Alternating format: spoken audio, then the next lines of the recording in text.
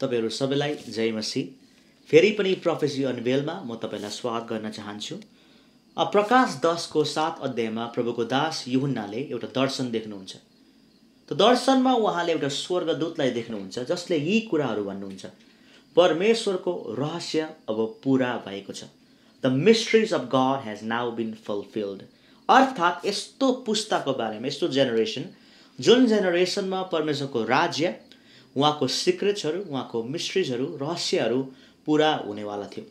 त्यति मात्र होइन प्रभु येसुको आफ्नै शब्दमा हामी मती तेह्रको एघारमा उहाँले आफ्नो चेलाहरूलाई भन्नुभयो तिमीहरूलाई स्वर्गको राज्यको रहस्य जान्न दिएको छ। To you it's given to know the mysteries of the kingdom राज्यको रहस्यहरू तिमीलाई जान्न दिएको छ भने प्रभु येसुले भन्नुभयो। कस्तो रहस्य? कस्तो रहस्य चाहिँ प्रभुले हाम्रो पुस्तामा पुरा गर्दै हुनुहुन्छ? कस्तो रहस्यको बारेमा स्वर्गदूतले प्रभुको दास युहुनालाई प्रकाशको पुस्तकमा भन्नुभयो? धेरै जस्तो हामी सोध्छौँ यो रहस्य चाहिँ के हो? भन्दाखेरि कुनै भर्स पढ्दाखेरि त्यो भर्सलाई हिब्रू या ग्रिकमा स्टडी गर्नु त्यसको अर्थ पाउनु नि हामी भन्छौँ ऊ मैले रहस्य पाएँ। प्रभुले मलाई रहस्य प्रकट गर्नुभयो। तर परमेश्वरको राज्यको रहस्य यीहरू होइनन्। मल्की सदैक को थिए। सोलोमनले लेखेको हजारौँ मध्ये रुखको किताबको बारेमा भएको वर्णनहरू कहाँ छन्? हजारौँ सोलोमनले लेखेको किताबहरू कहाँ छन्? परमेश्वरले हनकलाई किन लानुभयो? परमेश्वरले एलियालाई मृत्यु अघि किन उठाइ लानुभयो? स्वर्गदूतको विभाजनहरू के के छन्? डिफ्रेन्ट टाइप्स अफ एन्जल्सहरू के के हुन् त? स्वर्गको नियमहरू के के हुन् त? प्रभुले अयुबलाई भन्नुभयो के तँलाई स्वर्गको नियमहरू थाहा छ? यो सब रहस्य चाहिँ म विश्वास गर्छु हाम्रो पुस्तामा प्रभुले प्रकट गर्नुवाला छ। स्वर्गदूतले भन्यो यो हुन्नालाई mysteries of God is now fulfil परमेश्वरको रहस्य अब पुरा भएको छ। कस्तो रहस्य? हामी अहिलेसम्म के सोध्छौँ भने यो रहस्यहरू चाहिँ म भर्स पढ्दैछु। अलिकति त्यो शब्द जाने हिब्रू ग्रिकमा त्यही हो। त्यति मात्र होइन। दानियलले बन्द गरेको मोहरमा के के थियो? युहुन्नाले देखेको र सुनेको सात गर्जनको आवाजहरू के के थिए? इजकिलले खाएको चर्म पत्रमा के के लेखिएको थियो? दानियललाई सिंहको खोरमा राख्दै गर्दा साँच्चै के चाहिँ भएको थियो त्यहाँभित्र? योसेफको जीवनमा के थियो परमेश्वरको साथसाथ रहनुको निम्ति? योसेफको ताकत के थियो? यो सब रहस्य राज्यको रहस्य अब प्रकट हुनेवाला पुस्तामा हामी जिएका छौँ प्रिय। परमेश्वरको रहस्य हामीले हलुको लियौँ। परमेश्वरको रहस्यलाई हामीले हाम्रो ज्ञानसँग साथी दियौँ प्रिय हो। तर यो पुस्तामा परमेश्वरले स्वर्गको लुकेको थोकहरू प्रकट गर्नेवाला हुनुहुन्छ।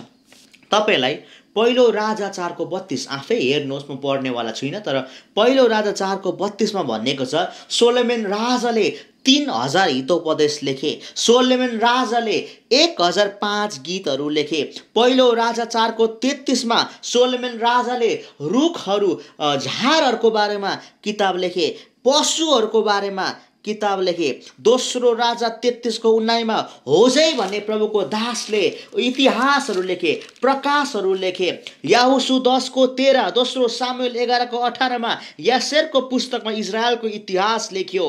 पहिलो इतिहास उन्तिसको उन्तिसमा गाद दर्शीले अगमबानीहरू लेख्नुभयो दोस्रो इतिहास नौको उन्तिसमा अहिजा परमप्रभुको दासले दर्शनहरू लेख्नुभयो दोस्रो इतिहास बाह्रको पन्ध्रमा इद्दो भन्ने प्रभुको दर्शीले अगमबानीहरू लेखेँ विभिन्न प्रभुको दासको म चर्चा गर्न सक्छु विभिन्न बाइबलको पदहरू म चर्चा गर्न सक्छु। तर मैले भन्न खोजेको यी सब अगमबानी बाइबलमा प्रभुले के? त्यसै लेख्नु भएको हो त। कहाँ गए त इद्दोको पुस्तकहरू? कहाँ गए गातका पुस्तकहरू? मल्की सदेक साँच्चै को थिए त? किन हिब्रूको पुस्तकमा हिब्रूको लेखकले मल्की सदेको बारेमा लेख्दा लेख्दै यो भन्नु पर्यो? तिमीलाई भन्नु धेरै छ यसको विषयमा तर अहिले खप्न सक्दैनौ। के चाहिँ हामीले गुमायौँ? हिब्रूको त्यति बेलाको मण्डलीले मच्योर नभएर खप्न नसकेको कारणले गर्दाखेरि लेखकले नलेखेको कारणले हाम्रो पुस्ताले के के गुमायो होला? सात गर्जनले के चाहिँ भनेको थियो? ती बन्द भएको चर्मपत्रमा के लेखिएको थियो? प्रभुले भन्नुभयो तिमीहरूलाई स्वर्गको राज्यको रहस्य जान्न दिएको छ। तपाईँको निम्ति एउटा पद म पढ्छु। यासैया फोर्टी फाइभको थ्री। अनि म तिमीलाई अन्धकारका धनहरू र गुप्त स्थानहरूमा लुकाइरहेको सम्पत्ति दिनेछु र तिमीलाई नाम काटेर बोलाउनु हुने परम प्रभु इजरायलका परमेश्वर म नै हुँ भनी तिमीले जान्न सक। यहाँ परमेश्वरले एउटा अगमबानी बोल्नुभयो।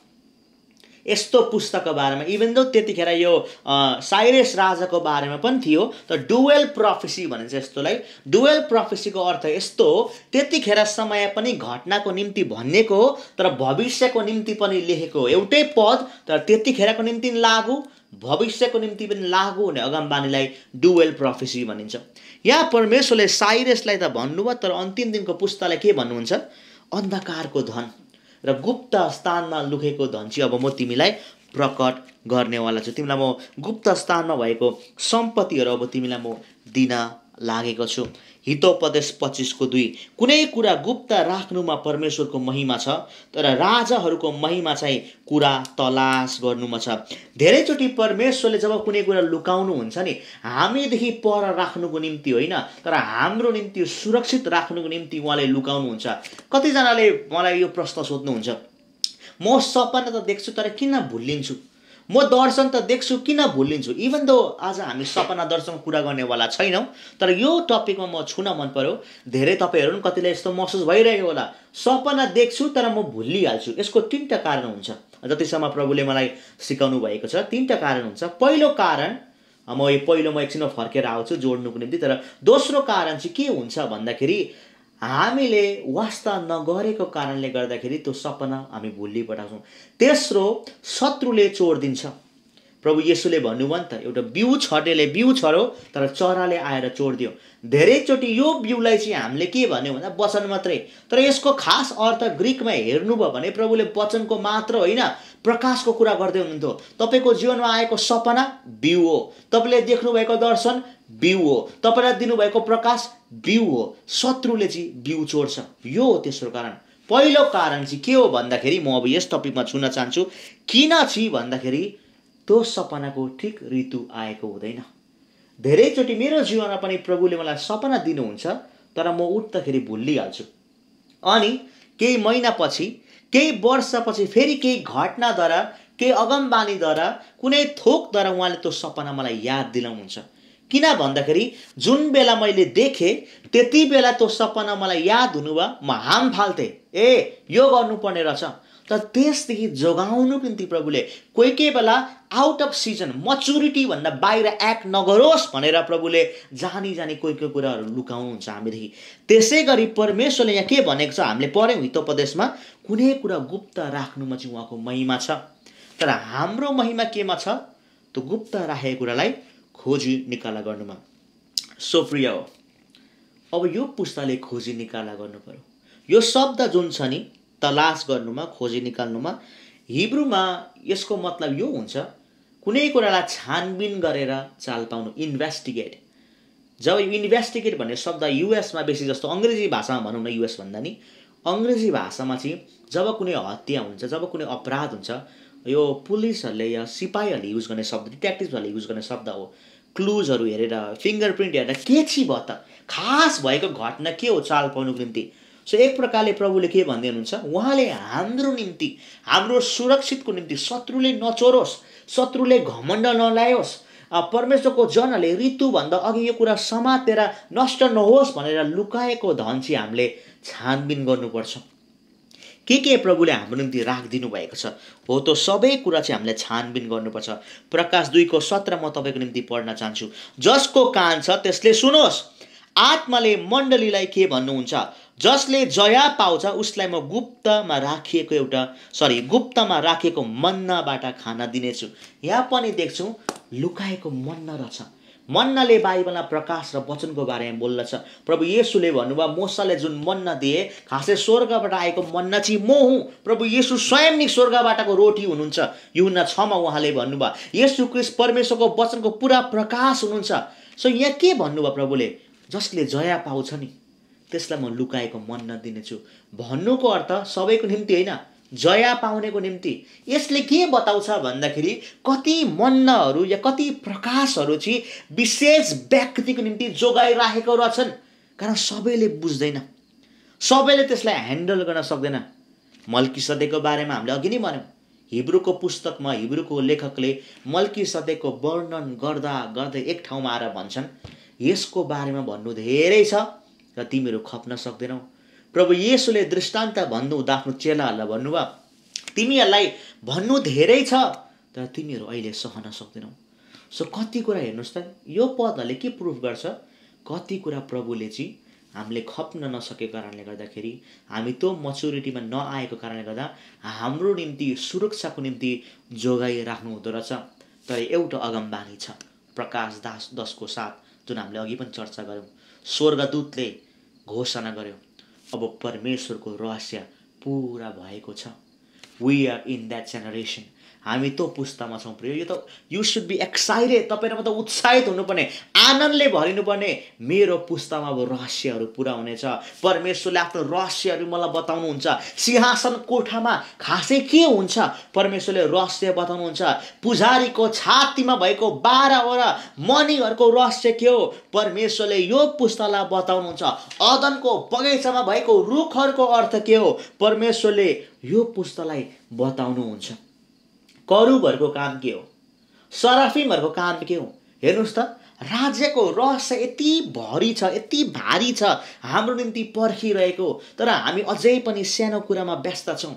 हिब्रू छमा लेखकले भन्छन् हामी यो एलिमेन्ट्री यो सुरु सुरुको कुरामा नबसौँ तर अघि जाउँ परमेश्वरले अनुमति दिए हामी अब अघि लम्क्यौँ। प्रिय हो अब हामी अघि लम्किनुपर्छ। हिब्रूको मण्डली हिब्रूको पत्र तपाईँ म हौसला दिन्छु पढ्नुहोस्। यति गहिरो प्रकाश पावलले रगतको बारेमा थुमाको बारेमा अब सिंहासन कोठा राजकियाको बारेमा यति महि महिमित कुरा उहाँले भन्नुभयो।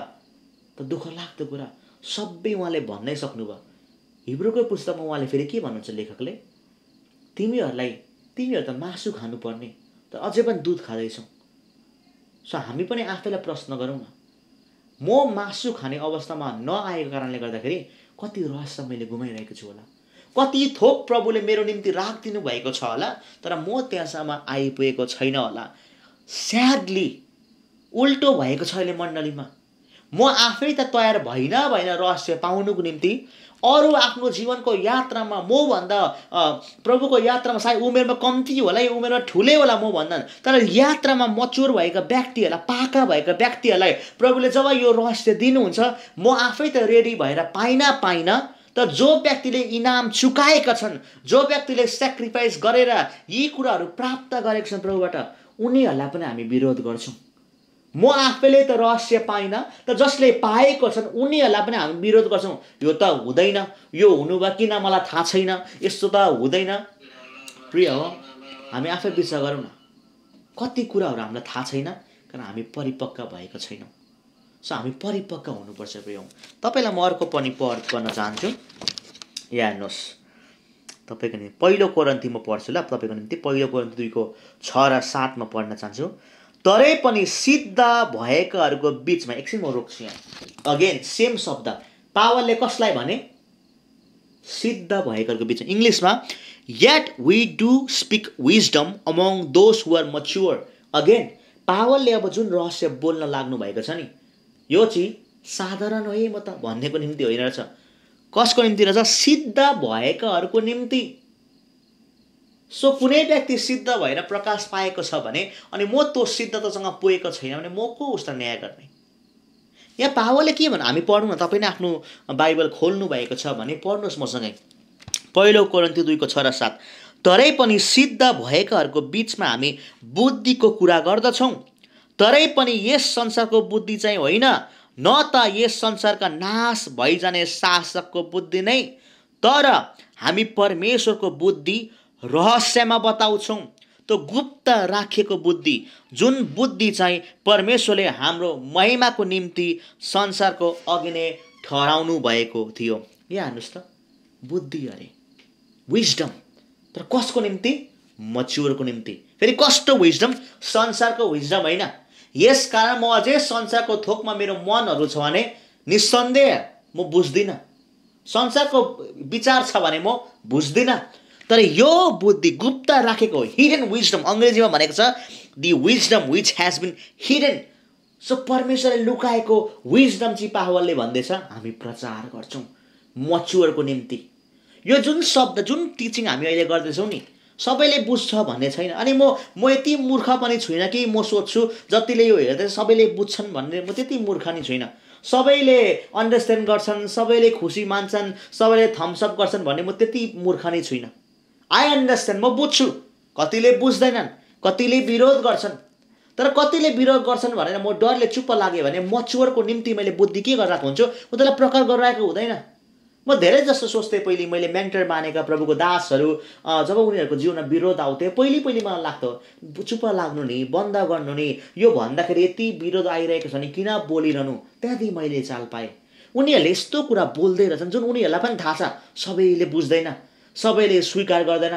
पावलले यहाँ भने नि तरै पनि सिद्ध भएको निम्ति हामी प्रचार गर्छौँ। तरै पनि मचुवरको निम्ति हामी लुकाएको बुद्धि घोषणा गर्छौँ।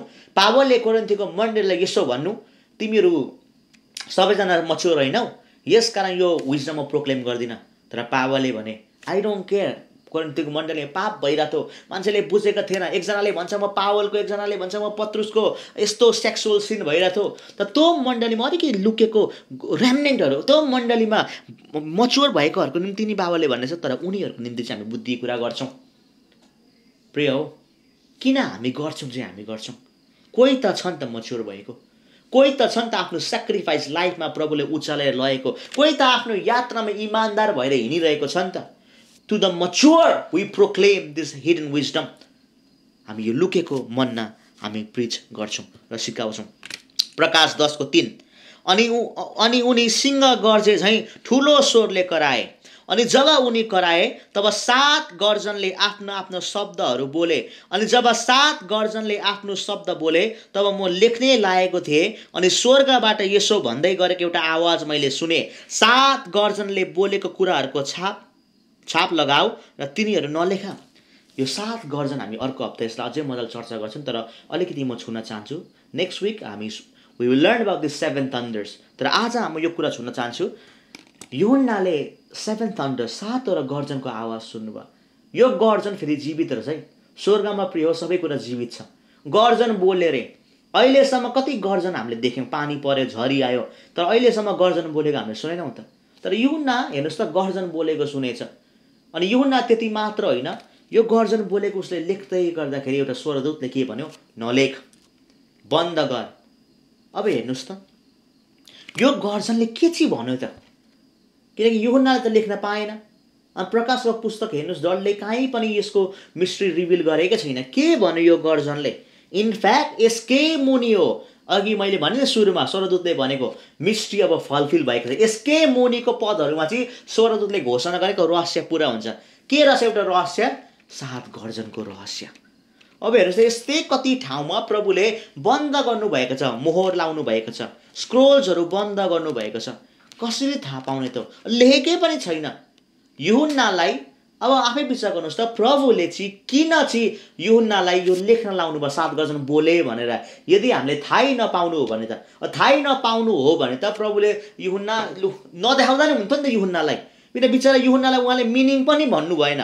अब इम्पोर्टेन्ट थिएन मिनिङ जान्नु थिएन भने युहुन्नालाई नदेखाउँदा नि भइहालेको। तर उहाँले देख्न दिनुभयो तर लेख्न दिनु भएन। किन? किनकि यो रहस्यहरूको युहुन्नाको पालोको निम्ति तयार थिएन। यो रहस्य नि अन्तिम दिनको पुस्तकको निम्ति तयार भएको रहस्य हुन्। यो रहस्य तपाईँ र मेरो निम्ति लेखेको रहस्यहरू हुन्। अनि यो रहस्य चाहिँ प्रिय हो तपाईँ र मेरो जीवनमा तपाईँ र मेरो समयमा पुरा हुने रहस्यहरू हुन्। अब हामी एउटा कुरामा आउँ। मिस्ट्रिस त रहेछ राज्यको रहस्यहरू रहेछ तर कसले पाउँछ यो रहस्य? हामी हेरौँ। हु गेट्स दिस मिस्ट्रिस भजन सङ्ग्रह पच्चिसको चौध। परमप्रभुको रहस्य उनीहरूसँगै रहन्छ जसले उहाँको भय मान्दछ अनि उहाँले उनीहरूलाई आफ्नो बाचा प्रकट गर्नुहुन्छ। नम्बर वान यो रहस्य कसको निम्ति? उहाँको भय मान्नेको निम्ति। अगेन सबै विश्वासको निम्ति होइन रहेछ। जसले उहाँको डर मान्छ उहाँले आफ्नो रहस्य प्रकट गर्नुहुन्छ। यो शब्द रहस्य छ नि द सिक्रेट अफ यावे भनेको छ। परमप्रभुको रहस्य हिब्रूमा यसलाई सोध भन्छ एसओडी सोधको अर्थ चाहिँ क्लोज काउन्सल। सबैलाई नभने तर आफ्नो ग्रुपको मान्छेलाई सिक्रेटहरू भन्ने। सो एक प्रकारले हामी यसरी पनि पढ्न सक्छौँ। परमेश्वरको घनिष्ठता परमेश्वरको सिक्रेट काउन्सल परमेश्वरको छेउको व्यक्तिहरूलाई साथीहरूलाई भन्ने रहस्य चाहिँ त्यही व्यक्तिहरूलाई मात्र भन्नुहुन्छ जसले उहाँको डर मान्छ। नम्बर वान उहाँको डर मान्नेहरूले चाहिँ उहाँको रहस्य जान्न पाउँछ। यस कारण त अयुबको जीवनमा अयुब प्रभुको डर मान्थ्यो भनेर भन्छ अयुब एकमा। अनि अयुबले प्रभुको डर मानेको कारणले गर्दाखेरि अयुबको जीवनमा यस्तो समय थियो जहाँ अयुबको घरमा परमेश्वरको घनिष्ठ थियो। अयुब आफैले भनेको छन् हेर्नुहोस् है। अयुब उन्तिसको म तपाईँको निम्ति पढ्छु। अयुब उन्तिसको दुईदेखि चारसम्म अयुबले पुरानो दिनलाई याद गर्दा के भन्छन्? बितेका महिनाहरू जस्तो परमेश्वरले मलाई सुरक्षित राख्नुभएका दिनहरूमा जस्तो मेरो अवस्था भए ता जुन बेला उहाँको बत्ती मेरो शिरमाथि चम्कन्थ्यो र उहाँको ज्योतिमा म अन्धकारबाट भएर हिँड्थेँ मेरो जवानीको दिनहरूमा भए चाहिँ जुन समय परमेश्वरको रहस्य मेरो बासस्थानमाथि रहन्थ्यो अगेन ऐब प्रभुको डर मान्थे अनि ऐबको घरमा ऐबको जीवनमा के रहेछ भन्दाखेरि परमेश्वरको डर मानेको कारणले परमेश्वरको रहस्य अयुबको जीवनमा मात्र होइन उसको घरमाथि आफ्नो सिक्रेट काउन्सिल परमप्रभुले राख्नुभएको रहेछ। तर धेरैचोटि किन परमेश्वरले जानी जाने रहस्य बन्द गरिदिनुहुन्छ भन्दाखेरि हामी उहाँको डर नमानेको कारणले गर्दाखेरि उहाँको आदर नभएको कारणले गर्दाखेरि हितोपदेश तिनको बत्तिस किनकि टेरा मानिस परम प्रभुको निम्ति घृणित हुन्छ तर उहाँको भेद भेद he secret counsel so again धर्मी जनसँग हुन्छ। हेर्नुहोस् त टेरा मानिसलाई परमेश्वरले घृणा गर्नु डिभिएस वान योजना बनाउने अरूको बदनामी गर्ने त्यस्तोलाई प्रभुले घृणा गर्नुहुन्छ। त्यस्तो विश्वासीले प्रभुको सिक्रेट चाल पाउँदैन। तर उहाँको डर मान्नेसँग चाहिँ के हुन्छ अरे? उहाँको भेद हुन्छ। धर्मी जनसँग चाहिँ उहाँको सिक्रेट काउन्सिल हुन्छ। हितोपदेश बाइसको एघार जसले हृदयको चोखोपनालाई प्रेम गर्छ उसका ओठहरूमा अनुग्रह रहेकोले गर्दा राजा उसको साथी हुन्छन्। जसको हृदय शुद्ध छ जसको ओठमा अनुग्रह निस्कन्छ नि हो उसको राजा साथीहरू हुन्छ।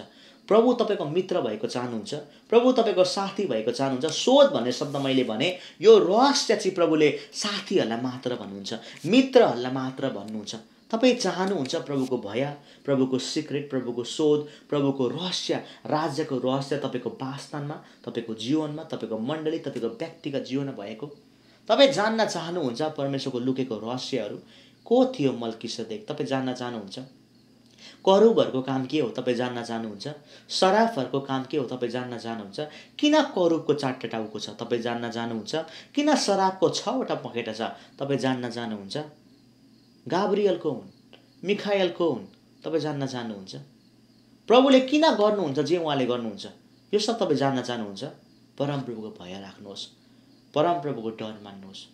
जब परमेश्वरको डर तपाईँ र मेरो हुन्छ जब शुद्ध हृदयको शुद्धतालाई म माया गर्छु जब शुद्ध हुन चाहिँ मलाई कर होइन ए कति पवित्र हुनु यो छोड्नु त होइन। तर हृदयले प्रभु म पवित्र हुन्छु। पवित्रता चाहिँ नि कर होइन रहर हुनुपर्छ। बाइबलले भन्छ परमेश्वरलाई पवित्रताको सुन्दरतामा आराधना गर्नु। पवित्रताको कर्म होइन सुन्दरता। त्यसको अर्थ के हो भन्दाखेरि you love to be holy सुन्दर लाग्छ तपाईँलाई पवित्र हुनु। जब पवित्रता सुन्दर लाग्छ जब उहाँको डर म मान्छु नि तब उहाँको सिक्रेट र काउन्सिल मसँग रहन्छ। प्रिय हो के तपाईँ त्यो जेनेरेसन हुनुहुन्छ? जसको बारेमा युनालाई स्वरदूतले भने यो जेनेरेसनमा परमेश्वरको मिस्ट्रिज फलफिल हुन्छ। आउनुहोस् हामी प्रार्थना गरौँ। प्रभु येसु हामी धन्यवाद दिन्छौँ। तपाईँले हामीलाई छान्नुभयो आफ्नो रहस्य प्रकट गर्नुको निम्ति। तपाईँले भन्नुभयो अबदेखि म तिमीहरूलाई दास भन्दिनँ तर मित्र भन्छु। किनकि मित्रलाई सबै कुरा थाहा हुन्छ आफ्नो मित्रले के गर्दैछ। प्रभु हामीलाई हृदयको शुद्धतालाई प्रेम गर्न सिकाउनुहोस् डिसिप्लिनमा हिँड्न सिकाउनुहोस्। परम प्रभुको भय के हो हामीलाई सिकाउनुहोस् प्रभु ताकि अयुबले जस्तै हामी पनि भन्न सकौँ। मेरो वासस्थानमा परमेश्वरको घनिष्ठता छ। मेरो जीवनमा परमेश्वरको घनिष्ठता छ। धन्यवाद प्रभु कि तपाईँको रहस्य प्रकट हुने पुस्तामा हामीलाई तपाईँले जन्म दिनुभयो। हामी तपाईँलाई प्रेम गर्छौँ र आधार गर्छौँ। प्रभु येसुको नाममा। आमेन। हुन्छ? हामी फेरि अर्को हप्ता भेट्ने नै छौँ जय